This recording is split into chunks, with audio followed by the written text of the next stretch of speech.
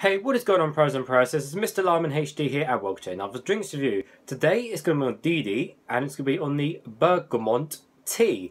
So uh, I got this particular can out of Poundstretcher and it cost me 50p, which is not bad for a nice big 500ml can. So I give you guys a full 360 of the can. So we have most of the can being uh, pink. we have like a billion different languages on the back. Well, probably a couple billion actually, there's a lot of languages on there. And uh, like I said, we have a picture of a bergamot, whatever that is. To me, it looks like a lime. You know, uh, don't know what a bergamot is to honest with you. Probably some random fruit or something. Uh, we have quite a big font and logo. On the bottom, we have nothing. And on the top, everything is standard and silver, including the pouring. So, bergamot tea, bergamot flavoured. So it seems like it is a flavour. Looks like it's lime. I don't know what bergamot is. uh, so it says it's got a little tick here, and it's got some uh, stuff on it. It says no glucose syrup, no fructose syrup, no colorants, and no preservatives. Uh, over the billion different languages, uh, let's see, carbohydrate aqua make out of which sugar is, I believe, 8.5 grams per 100 ml, so it is quite sugary. Uh, average for energy drinks is generally around 10 milligrams per 100 ml, even though it's not an energy drink, just for comparison. Uh, so we also have 6,000 different languages on the back. Uh, English is up here somewhere. So we have ingredients, uh, black tea extract, flavouring bergamot, uh, contains caffeine from the tea, max 18 milligrams slash milligram litres. Ah, that's weird, that's weird wording, but apart from that, not much else on the can. I believe it is a, yep, it's made in Turkey, so it's a Turkish drink. Hence why it's got all that kind of Cypriot type wine on the bottom and on the back and stuff. But anyways, it's nice and cold. Have a cup. Let's go straight to it. Hopefully it doesn't explode over me. So as well, I'm trying out my new camera angle as well. You know, I've kind of got the width, not too bad, but I am missing the height because, you know, the height is a bit more tricky. But anyways, uh, ooh, what is the colour of this going to be? I have no idea. I'm assuming, I want to say green, but uh, it's going to be like a brownish colour because it's tea, isn't it? It's probably just going to be a royal brownish apple type colour. As far as the taste and smell, I honestly have no idea. So uh, we'll find out. And it didn't explode over me. That's good. I got a feeling this is going to be really nasty for some reason. I don't know why. I got a feeling it's going to be really, really nasty. And the colour is... Ah, I guessed it.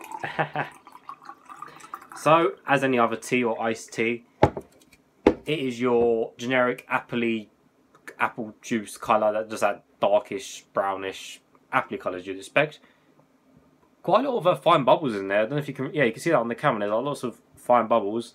Uh, it's kind of see-through for the most part, I guess, when the bubbles will be able to see through. Now the smell. Hmm. Just smells of uh, generic iced tea, to be honest with you. Kind of like... Um, yeah, it just smells of some. Well, sometimes you buy like the bottled iced tea, like the standard flavors. It kind of just smells like that, really. But nevertheless, let's uh, taste some.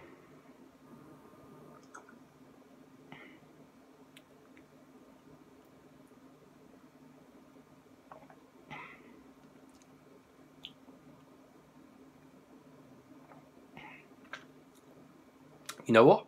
That's actually quite nice.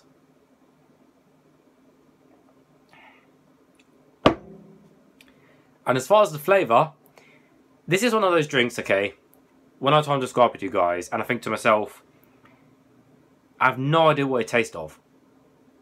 It tastes of bergamot, or however you say it. Uh, I'm actually, I'm actually going to look it up quick. Because I have no idea.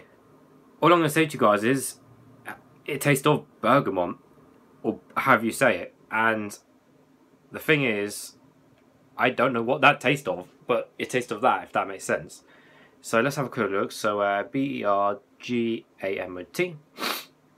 So there's a lot do these drinks neat when I review them. You see, so okay, so it's oh, so it's part of the orange orange. I guess it's part of the lime orange family. That's what it says on here. So bergamot orange, citrus bergamot. The bergamot orange is a fragrant citrus fruit the size of an orange with a green color similar to a lime.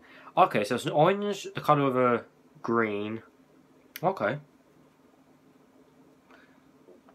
Okay, so yeah, it's basically that, which is Bergamot. That's too bright, but look up on Google. So that's interesting. So it's a product of the orange thing, the Bergamot.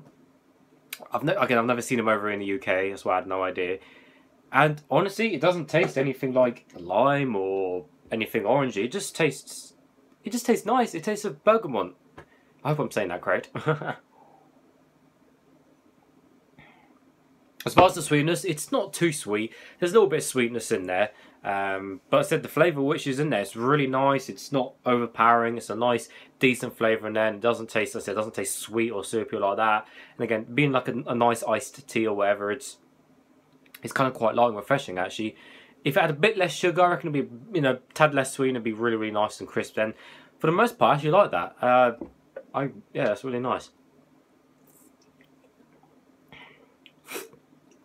I'm just trying to think any drink which I've ever tasted like that before. I honestly haven't tasted a drink like that before, so I cannot compare it to another drink for you guys. Hmm. It's just really nice. Hmm. Bit bubbly, but there we are. That doesn't mean anything. But no, but I actually like that, guys. That's that's nice. That's nice. Again, I don't mind iced tea in general and everything like that, but no, but definitely gets a thumbs up for me. So as always, guys, thanks for watching, and I'll see you all later.